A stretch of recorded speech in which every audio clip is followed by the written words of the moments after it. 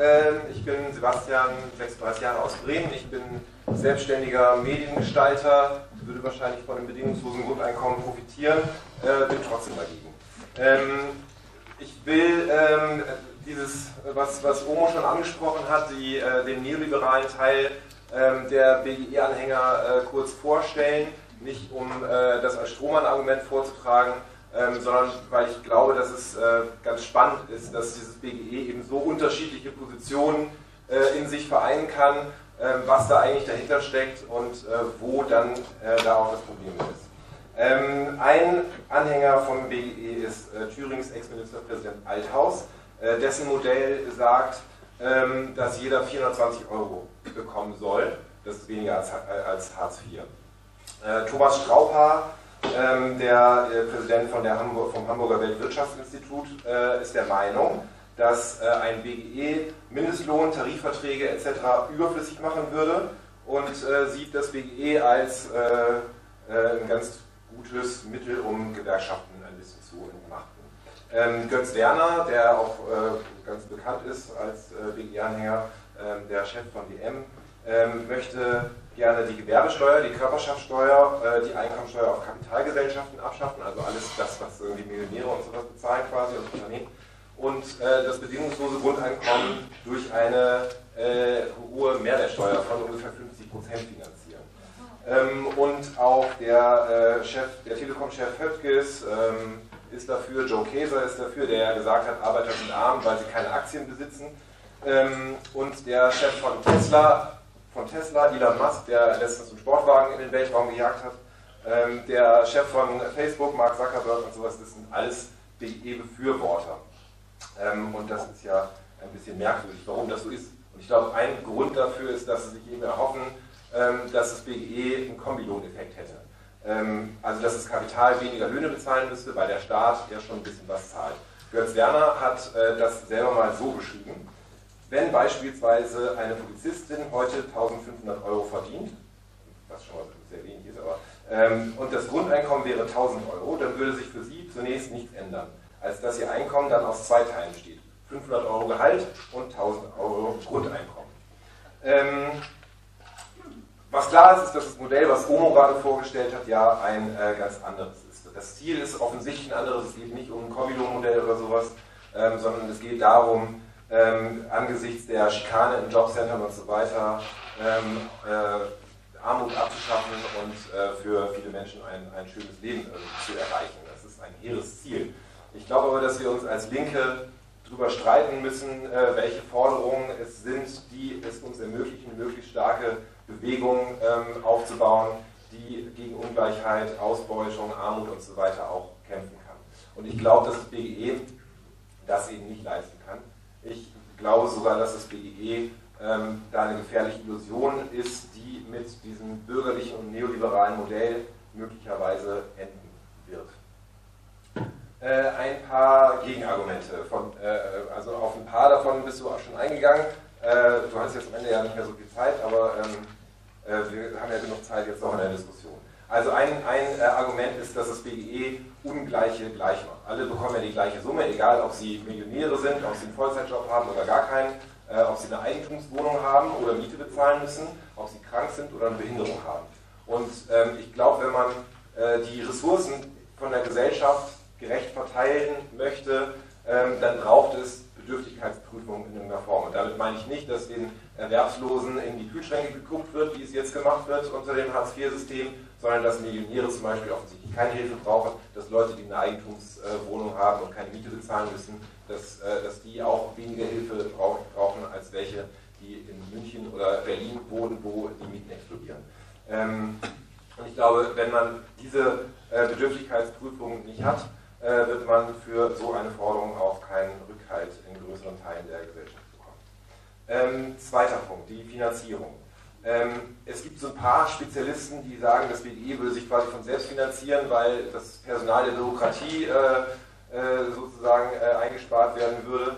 Ähm, völliger Quatsch. Also es sind 100.000 Beschäftigte ungefähr, die bei den Jobcentern arbeiten. Wenn man davon ausgeht, dass sie irgendwie 4.000 Euro Arbeitgeber brutto bekämen, äh, wären das 400 Millionen Euro im Monat. Davon würde jeder in Deutschland 5 Euro bekommen. Also finanziert sich nicht von selber.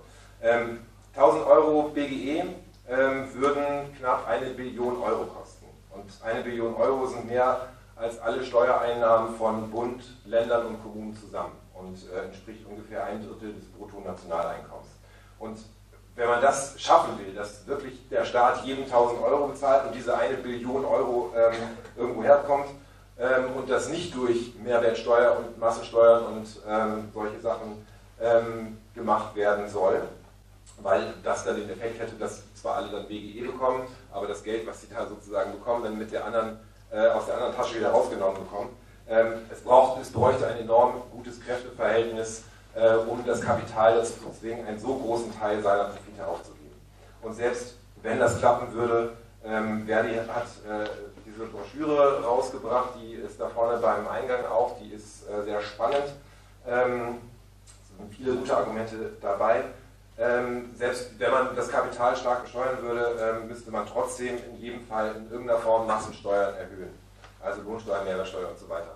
Und übrigens, wenn man nur durch die Mehrwertsteuer das BGE finanzieren wollen würde, äh, wäre ein Mehrwertsteuersatz von 150 Prozent nötig, sagt Verdi. Also das ist schon ganz ordentlich. Ähm, und selbst wenn irgendwann ein hohes BGE eingeführt werden würde, es, äh, würde, diese, würde so eine Reform den Weg in eine Reform gehen, dass sie irgendwann unter Druck stünde.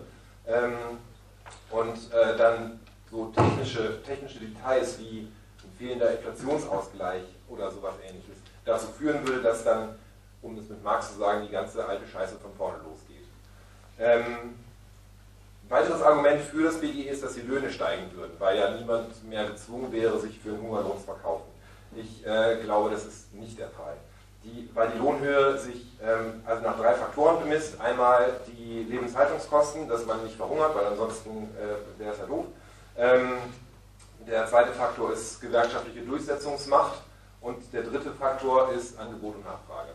Ähm, und äh, da ist es so, dass Leute mit niedriger Qualifikation, von denen es viele gibt, aber nur wenig Jobs, ähm, dass die ähm, weiterhin schlecht bezahlt werden würden.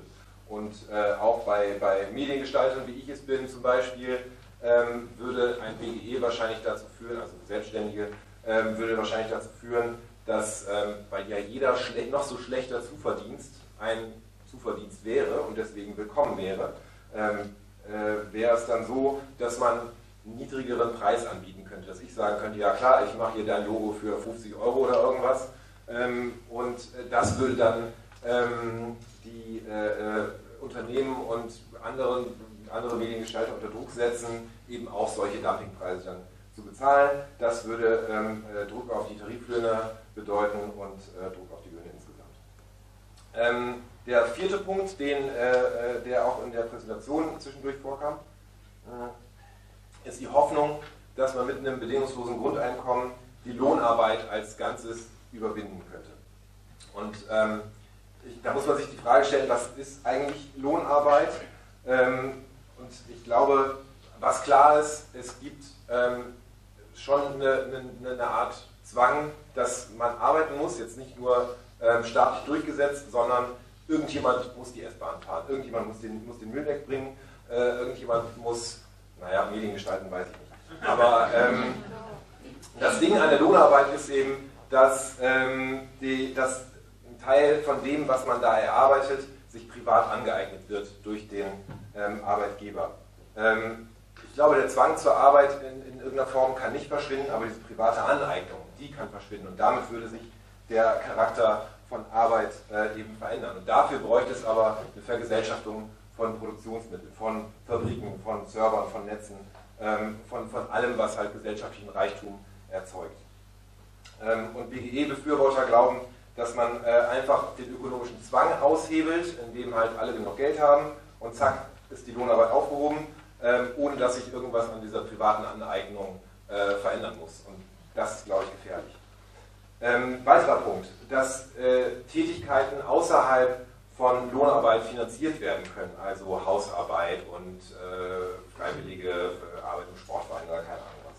Ähm, also gerade bei Hausarbeit finde ich, ist das, ist das eine gefährliche Argumentation, weil erstens die Bezahlung ziemlich beschissen wäre, also für 1000 Euro oder 1200 Euro ähm, sich um seine Angehörigen zu kümmern oder sowas, ähm, ist äh, ja, schlechte Bezahlung. Und zweitens glaube ich, dass, dass private Hausarbeit ähm, total unprofessionell ist eigentlich. Also man, man, muss sich seinen, seinen, Rücken kaputt heben, weil man die, nicht das richtige Bett hat, um die Leute aufzurichten. Ähm, man versaut, versaut, die Kinder, weil man keine Ahnung von Kindererziehung hat. Ähm, und, und, Kranke werden unsachgemäß versorgt. Ähm, ich glaube, dass äh, der Effekt von einem BGE wäre, dass es mehr Rückzug ins Private geben würde und eine Hausfrauisierung eigentlich. Ähm, und das wollen wir nicht. Also der, das BGE will nicht die Anerkennung von Care-Arbeit verbessern, sondern eben zurück, äh, also Frauen wieder vermehrt an Heim und Herd drängen. Ich glaube, was wir stattdessen bräuchten, wäre eben eine Vergesellschaftung von Sorgearbeit, dass es überall Gemeinschaftsküchen gibt, dass es gut ausgestattete Kitas gibt ähm, äh, und gut ausgestattete Pflegeeinrichtungen mit ausreichend qualifiziertem Personal, wo ähm, jung, alt und krank eben versorgt werden. Ein weiterer Punkt. Ob das BGE nicht eigentlich die einzige Antwort ist auf eine Gesellschaft, der die Arbeit ausgeht. Das äh, kam auch in deinem Referat vor mit Industrie 4.0 und sowas. Wahrheit ist, dass der Gesellschaft die Arbeit überhaupt nicht ausgeht. Ähm, also Einmal ist Care-Arbeit eben, also diese Sorgearbeit, äh, die ich gerade angesprochen habe, äh, eine Sache.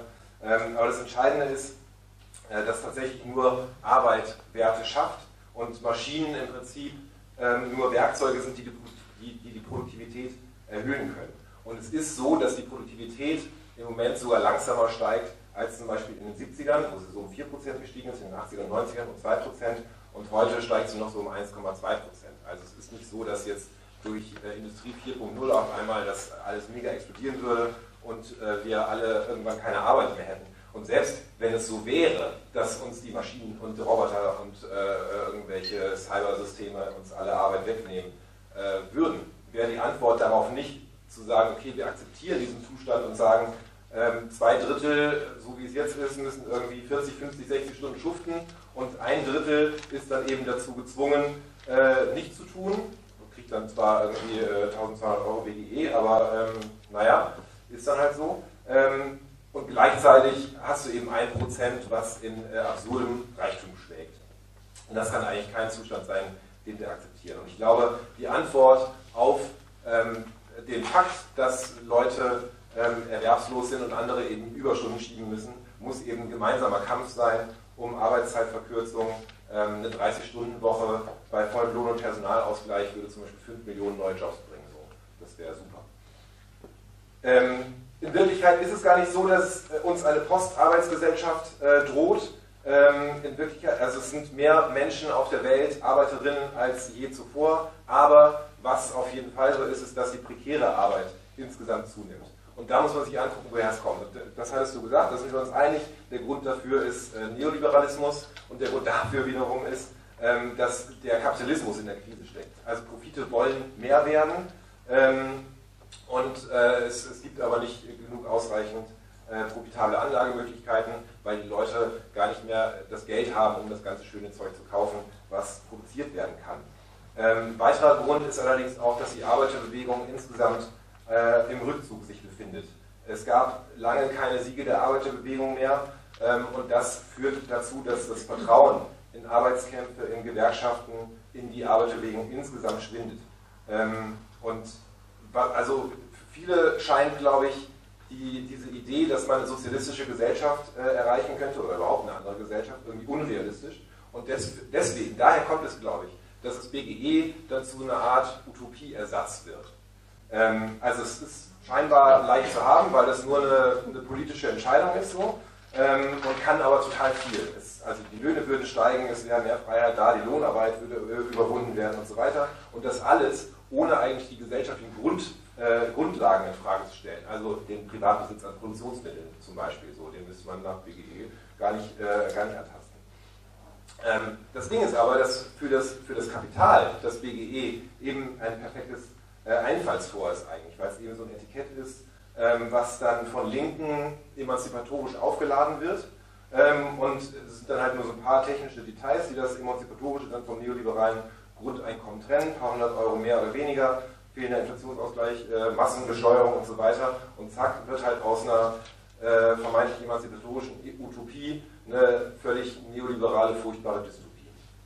Ähm, das wollen wir, glaube ich, nicht. Statt, und statt diesem Etikett und dieser Worthülse bedingungsloses Grundeinkommen, das halt entweder links oder rechts ausgelegt werden kann, äh, glaube ich, brauchen wir ein klares Programm, äh, das die Einheit der gesamten Arbeiterklasse herstellen kann. Und das wäre eben äh, eine radikale Arbeitszeitverkürzung, Lohn- und Personalausgleich. 30 Stunden sind wahrscheinlich sogar noch zu viel bei dem äh, heutigen Stand von, von Produktivität.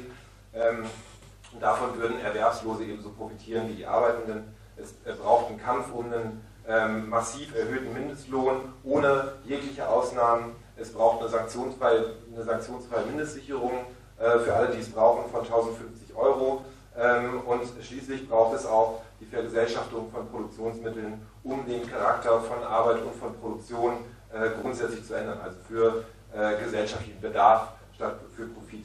Ähm, und also statt für 1000 oder 1200 Krümel pro Monat zu kämpfen, sollten wir für die gesamte Bäckerei kämpfen.